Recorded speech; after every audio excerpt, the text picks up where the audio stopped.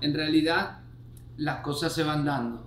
Siempre tuvimos eh, una familia en donde casi todos, pues eso de comer juntos, eso de, de tener reuniones y qué sé yo, eh, todo siempre en familia. Lo más lógico era que algún día surgiera la posibilidad de hacer una canción juntos. Y, y bueno, y cuando llegó Camilo a la familia, pues se, compli- se completó este... Se complicó. no, se completó este, este grupo y yo creo que eh, era como natural hacer Amén. Amén es una canción que nos tiene a todos muy motivados. Esa es una buena pregunta. ¿Qué- ¿Quiénes Camilo, escribimos esa canción? La, eh, entre todos la hicimos Sí. toda. Eh, es una canción que, que partimos también de la sonoridad de, de- del track que hizo Richie, del- del- de, la producción Ajá. que un amigo productor estaba, estaba armando y de ahí empezamos a meterle todas las melodías y desde que surgió la idea que te surgió a ti en el comedor de Samaná de que el coro dijera eso. Amén. Ah, ok. Empezó a caminar toda la, toda la letra. Ya. la- Ah, está bueno. No me acordaba yo cómo había Sí, así fue. En el Y yo- comedor tú tenías un Johnny Queque en la mano. Ah, estaba y comiendo. dijiste. El desayuno era. Ah, claro, porque la melodía creo que decía. Y tú la escuchaste y dijiste, es que tiene que decir amén, amén. Ah, y ahí fue que la canción nació justo en ese momentito y de ahí todo fue darle abracitos con otras melodías y otras cosas. Y yo creo que Ricky y yo fuimos los últimos en, en grabar y en escribir en esa canción. Ricky y yo. Eh, llegamos tarde, estábamos, no sé si estábamos de gira o qué, pero, pero sí, pero todo se dio espectacular. Cuando ustedes mandaron lo que escribieron, me acuerdo que lo escuchamos Ay, y sí. caímos todos como. Increíble, Espérate. ¿qué? ¿Qué le gustó? Uf. No, es que no hemos hablado de esto hasta este momento. ¿no? Habíamos. Bueno, yo creo que Amén es una canción que va dirigido a todo el mundo, a todas las personas que, ten- que tengan oídos. Eh, esta canción se escribió para, para ustedes. Yo creo que tiene eh, distintos tipos de, de sonidos dentro de la misma canción. Por más que sea una balada, el verso de nosotros capaz y eh, se parece mucho a lo que hacemos nosotros en nuestra, música, etcétera. Y yo estoy seguro que la gente que escucha la música de Mau Ricky, la música de Camilo, la de Eva y la de Montaner, todos van a conseguir eh, refugio eh, en esta canción. Creo que es una canción que habla específicamente eh, de algo que nos, que nos sucede eh, a todos. Eh, la canción tiene esperanza, tiene momentos de, de, de duda y de, De angustia. de angustia y, y todos los seres humanos pasamos por eso. Y tú sabes que siento que em, en cuanto a sonido, es un sonido que une cada uno de nuestros estilos de una manera Ujú. extraordinaria. Y tú sabes que yo me acuerdo desde que yo soy chiquito, la típica pregunta de ¿cuándo van a hacer una canción todos? Em, y siempre era, bueno, algún día. Y la verdad es que yo creo que estábamos buscando algo, em, no solo que tuviera sentido eh, eh, eh, en, en cuanto al sonido, sino también al, al propósito detrás de la canción. Esto es algo que siento que nos apasiona a todos profundamente y Sí. siento que es algo em, por el cual queremos nosotros eh, pelear, trabajar, o sea, queremos defenderla y, y queremos asegurarnos de que la mayor cantidad de gente posible escuche esta canción. Amén es una palabra universal. Amén significa lo mismo en, en todos los idiomas, en, en todas las religiones.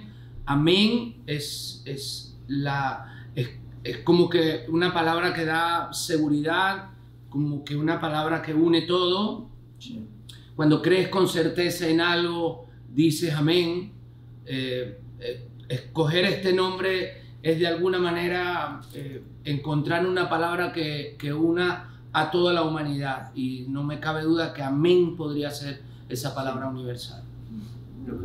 Ok. Sabes que desde que yo inicié hasta hoy hay una, hay una cosa en común, que la música continúa. Y da igual la vía, y da igual la forma, da igual los, los estilos, los géneros, la música continúa. La música es simple y llanamente la banda sonora de la humanidad, de la creación misma. O sea, eh, eh, la música como tal puede, puede vivir en constante evolución, ¿no? Eh, en constante cambio, pero lo que está clarísimo, que la música es la música y de ahí no la saca nadie. Entonces, Eh, yo sí creo que hoy en día tengo o tenemos unas ventajas que quizás no teníamos eh, en la época en que, yo, en que yo salí. Hoy ponemos esta entrevista en redes sociales o en una plataforma digital y en tiempo real lo ve eh, la humanidad entera, si quiere. Entonces, eh, esas ventajas no las teníamos cuando, cuando yo comencé a los 18 años. Mm. Si uno lee los, los, los salmos, por ejemplo, te das cuenta de, de- dos cosas. Uno, que el, la angustia y el sufrimiento y, y como la inquietud muta a lo largo de la historia, pero es natural y es inherente al hombre desde, o sea, desde el comienzo de la humanidad, ¿no? Y tan, tan natural al hombre es la angustia como lo es el pedido de auxilio a raíz de la angustia también, ¿no? Mm. Y es una reacción humana de, desde la inquietud gritar a pedir por ayuda, ¿no? Y, y- y siento que esta canción es el vehículo perfecto para que no es una canción cristiana, no es una canción religiosa, no es, una, es una canción que es medallita y, y- y- y amuleto y compañía y vehículo para todas las personas que están pasando una situación difícil y necesitan pedir ayuda a- al, al dueño de toda la ayuda, ¿no? Exactamente. Uf. Qué bello. Exactamente. Wow. Bueno, yo tengo, eh, cuando estábamos grabando, a mí me pasa que yo grabo las canciones y a veces me, como que me frustro o no sé, no estoy llegando al lugar donde quiero estar con mi voz, entonces me, me da como nervios y puedo llegar a llorar y tal. La que más Pero, canta, ¿no? Lo dice. ¿qué? La que más canta de todos. Ay. Sí, Claro que exacto. No. No, pero me pasa. Y eh, me pasó grabando La Gloria de Dios con papi. Me pasó grabando una canción más que no puedo decir el título todavía. Y esta, que en el momento que estaba grabando me tocaba grabar como ya el final, los adlibs, una cosa así. Y me entró un llanto.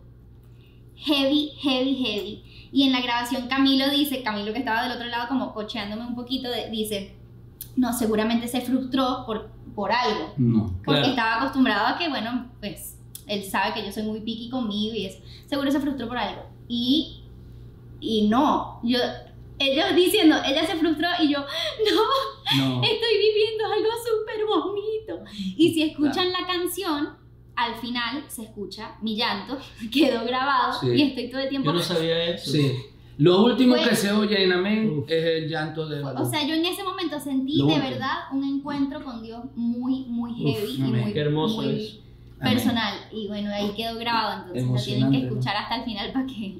para Justo que- al final, la última colita, cuando acaba la música, es un, como, un, como un gemidito Sí. así de, de Eva. Espectacular. No lo sabía yo. Uf. Yo no he separado los roles, yo creo. Sí. O sea, Los roles. ah, eh, Imagina. yo creo que en realidad es lo más fácil de la vida ser la hermana de ellos, ser la hija de él, ser la esposa de él. Es Uy. muy fácil porque me, porque me, me siento extremadamente amada y creo que pues yo me dejo llevar. no, mentira. Pero en realidad sí, o sea, no es una cosa difícil y yo no siento que es como que tenemos que hacer cosas diferentes. Y ahora que soy esposa de él, ya no puedo hacer alguna canción Sí. con mi hermano. O sea, nada que ver. Eso creo que nos unió más aún. Mira, yo, yo, esta canción la hicimos em, en realidad antes de que sucediera todo esto. Pero los tiempos de Dios son tan perfectos que Dios sabe em, por qué Mm. hace eh, las cosas y por qué teníamos, porque no habíamos sacado la canción todavía, porque la tenemos casi que lista hace un rato ya. Entonces, em, obvio nosotros no teníamos ni idea por lo- o sea, lo- de lo que venía ni nada. Entonces, em, tam- también me acuerdo que al principio de la cuarentena, que, que teníamos ganas de sacarla, queríamos asegurarnos de, de tratarlo con cuidado, porque no queríamos que la gente sintiera que estábamos para nada tratando de aprovecharnos de este momento. En Ujú. realidad, esta canción em, obviamente entra perfecto ahorita, pero entra perfecto en cualquier momento de la vida. Esto es una Sí. canción que si tú la escuchas tiene esperanza, pero tiene una angustia que, por el cual siento que la gente vive a diario y, Mm. y es algo que, que obviamente aplica perfectamente para todos estos tiempos que estamos viviendo con la pandemia pero también para cada una de las angustias que vive la gente em, eh, de cosas cotidianas o cosas súper graves. Entonces, eh, yo siempre pensaba en esta canción como en un abrigo y como en una- un descanso y, y un poco como un acompañamiento para toda la gente que está viviendo por algo difícil. Em, y siento que, que, que entra perfecto en la vida de la Sí. gente ahorita. Yo creo que eso es para ti también, porque No, no, usted. has tenido la... O Eva Luna, dale tú. Ay, Justo me dieron la más difícil a mí. No, yo creo que, yo creo que es la responsabilidad de, de- de- de nosotros como artistas eh, ir evolucionando. Yo creo que es fácil encontrar una zona de confort que dice, bueno, este, este sonido para mí funcionó, me quedo haciendo lo mismo porque pues si me sale, si me queda bien el pan con queso, Sí. pues déjame seguir haciendo pan con queso. Y nosotros tenemos la necesidad y la responsabilidad a, nuestro, a, a la gente que sigue nuestra música de estar constantemente enseñando las distintas facetas de nosotros. Nosotros no somos la misma persona. Yo no soy el mismo ser humano que era en enero Sí, al que soy hoy. Claro. Entonces mi responsabilidad está constantemente eh, eh, en mutar, en seguir haciendo eh, música diferente que me represente a mí hoy, porque si no, no, no es, no estoy siendo una- un artista genuino, ¿no? Y en Sí. tu caso, que tienes más de 30 años en esto, 40. tú has sido 40 años, Sí. 40 años en esto, bueno, tú eres un artista que ha tenido eh, eso claro desde siempre, por eso eres Sí. tan, estás tan vigente hoy. O sea, ese es el sueño de cualquiera de nosotros, poder estar 40 años después, estar teniendo una conversación sobre un nuevo sencillo. Wow, Sabes que sí. si Dios quiere va a impactar la vida de millones de personas. Sí. Entonces, eh, me dio como felicidad. Tú para sabes- nosotros eso es un gran para nosotros es un- gran ejemplo por eso es que Camilo está constantemente reinventándose Baluna nosotros tratamos de, de estar proponiendo cosas diferentes para poder hacer ser artistas de carrera más allá de bueno hacen esto muy bien sino que el día de mañana cuando estemos hablando de la música de qué sé yo del espacio que hacen de aquí cuando estemos cuando estemos cumpliendo nosotros 40 años poder estar sentados aquí hablando de una canción que, que va a conectar con mucha gente ¿sí? Sabes que eh, le quería confesar algo. ¿no? Yo ahorita, eh, antes de bajar para hacer estas entrevistas, me metí en el baño de mamá y le grabé un mensaje. A mi mamá. Sí, porque ella es la directora del video y no está aquí, porque está trabajando, preparando todo. Y em, este, le dejé un mensaje diciéndole que estaba seguro que este video iba a ser maravilloso y todo. Pero entre las cosas que le dije, llorando un poco, es que em, eh, la, la maravilla que significa el tener una familia que te haga sentir vigente, ¿no? Yo, yo he absorbido mucho de ustedes y la juventud que pueda tener o la frescura que pueda tener la música que yo hago es porque la hago con ustedes. Entonces, yo, yo tengo una ventaja por encima de mis colegas que tienen mi edad, que son ustedes. Ustedes me imprimen constantemente este, aires nuevos que me permiten sentir- sentirme vivo como artista. Y eso sin lugar a duda no se debe a mi talento. Eso se debe a que, a que eh, muy inteligentemente me he sabido rodear. Los colegas míos de mi misma generación no tienen quizá esta ventaja que yo tengo de tener este, músicos adentro de la familia que no solamente están vigentes, sino pegados, artistas que están muy actualizados hoy. Entonces yo le decía hoy a mami, en el mensaje que le mandé, que, que, que yo lo que agradecía más de Amén es lo vivo que me hacen sentir ustedes y lo vigente que me hacen sentir ustedes y, y, lo, y lo importante que me hace sentir ella, pues no solamente todas las mañanas, sino eh, organizando y armando este video para nosotros. Muy bonito eso. Si yo puedo agregar algo también, es que siento que, que, que es como un círculo muy lindo que aparte como que se, se complementa y se completa, porque lo que estás diciendo a mí personalmente me, me halaga y me hace sentir muy honrado, pero a la vez mi carrera está todo el tiempo mirando la tuya desde el aprendizaje, desde, el, desde emular un montón de cosas, desde preguntarme en cada cosa, ¿qué haría Montaner? ¿Qué escribiría Montaner? ¿Le gustaría Montaner este coro? ¿Qué diría Montaner en esta entrevista? ¿Dónde tocaría Montaner? ¿Qué cantaría primero? ¿Sabes? Como que yo me hago todas esas preguntas y es muy lindo saber que de alguna manera el círculo pueda... Bueno, eso me pareció... Es hermoso.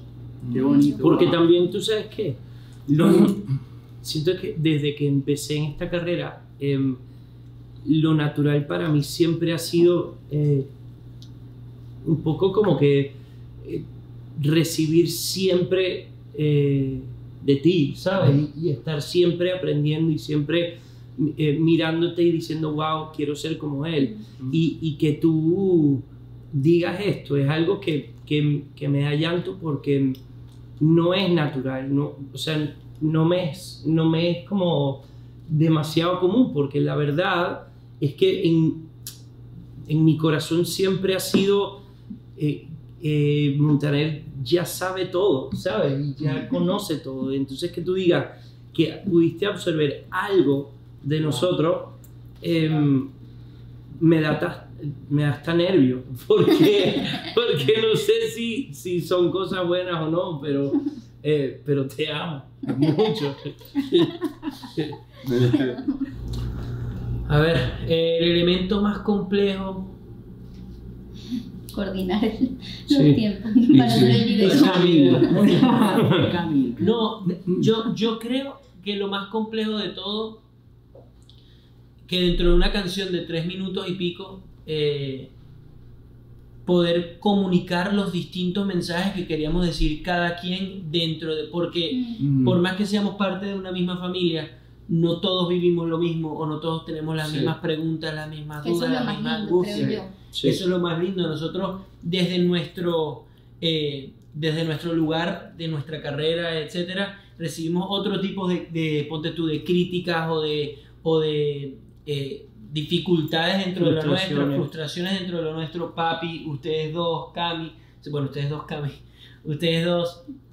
Entonces, eh, yo creo que poder comunicar el mensaje que queríamos comunicar nosotros, el mensaje que quería comunicar Cami, tú, papi, fue yo creo que lo más complejo poder eh, reducirlo todo a tres minutos y medio y que todos nos sintamos como Sí. dijimos lo que, lo que teníamos que decir para, para hablar pues nuestra verdad. Fíjate que lo que une amén es amén, porque, Sí. porque lo demás, eh, eh, cada uno en su intervención cuenta una pequeña cosa, o una Sí. pequeña Sí. historia, o un ¿Sabes qué me fragmento encanta? del Que me pensamiento. encanta la canción. Ya tenemos, nosotros tenemos esta canción grabada hace mucho tiempo y yo la tengo en mi celular hace full y la escucho todo el Yo tiempo. también. Y siento que desde que la grabamos hasta ahorita, como que mi himno va cambiando en la canción. Entonces, mi parte al principio, cuando, cuando recién la grabé, era lo que yo estaba sintiendo en ese momento y, y lo que más quería cantar yo. Sí. Después fue pasando a el coro. Bueno, después fue pasando a la parte de Cami. Y la parte de ustedes en esta cuarentena, Sí, fuerte. Uf, o sea, yo que he sentido de verdad con todo lo de las redes sociales y eso, que uno como que de alguna manera ve de cerquita todo lo que la gente está diciendo, en realidad la parte de ustedes ahorita mismo es como mi, Sí. la parte que yo más canto ahorita. ¿no? Y, y yo ya estoy, de hecho, o sea, yo ya me adelanto a saber antes de que la gente escuche la canción las críticas que vendrán Sí, pero... Sí. por pero- eso mismo. Y eh, es algo que en realidad me emociona porque siento que si realmente escuchan la canción antes de criticar, ¿no? Es como casi, es raro porque es como una contradicción o Y una si, hipocresía rara que es como, te critico y es como, escucha la canción, estamos hablando de, De ti. eso. Y, y- ¿sabes? y es, y es lindo porque la verdad es que, mm, lo decías tú, Cami, no es una canción cristiana.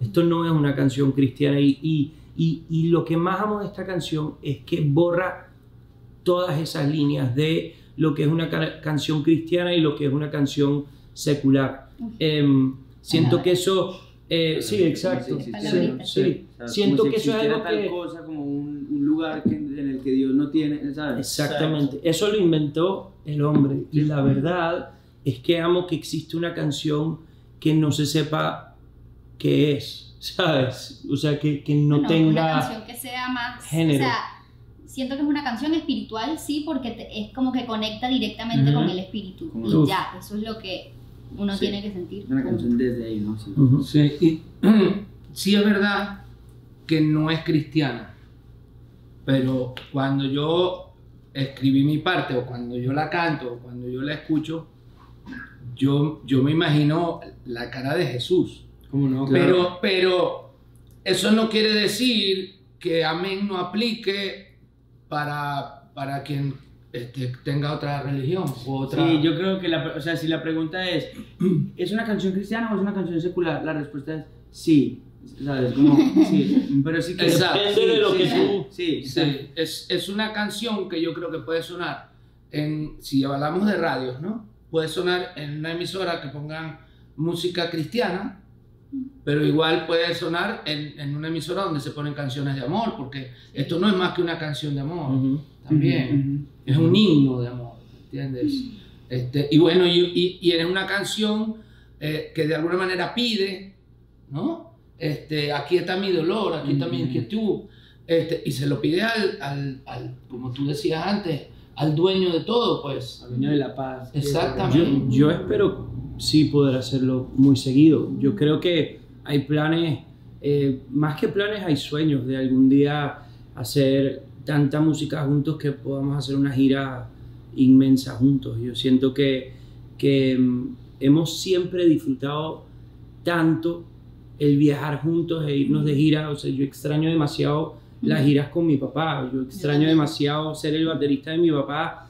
Eh, aparte de lo que yo sentía tocando, eh, extraño full el movilizarnos como una Como un manada. gran, sí, como una manada, un gran campamento todos juntos y que entre los shows y entre las cosas íbamos comiendo, Ujú. disfrutando restaurantes extraordinarios.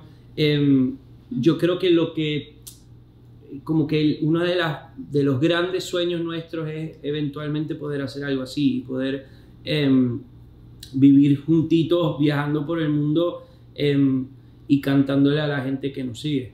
Imagínate tú que, que inclusive, Mau, tú desde, desde chiquito tienes la idea de tener este autobús Sí. Entonces él quiere tener unos motorhomes, entonces que todos viajemos como en familia, uno atrás del otro, y que, y que no, esta noche nos reunimos en el motorhome de Ricky, y mañana en el de con, la- Camilo con las caras, con las caras Exacto, y, y- e irnos de gira. Bueno, aquí se estila mucho, en México se estila mucho, obviamente. eh, yo recuerdo este, mis, mis largas giras en México eran, eran todas en carretera. Y entonces yo me pasaba tres meses, en, literalmente tres meses montado en, en- en grandes autobuses con, con una cabina atrás donde podía dormir. Este, Pero prefieres que sea un avión ahora. Puede ser no, un no avión. prefiero que sea un avión, pero prefiero que sea un avión, pero es indudable que hay trayectos que no puedes hacer en avión, pues. Sí, claro. Que es mucho más práctico hacerlo como se le ocurrió a Mao, pues, con motorhomes y todo eso. Qué buen plan. ese. Es buen plan. Yo siento que ni una cosa ni la otra. No es que yo agarro y los alecciono o ellos vienen y me dicen, mira, ¿qué hago? Yo pienso que la vida eh, se practica viviendo, pues.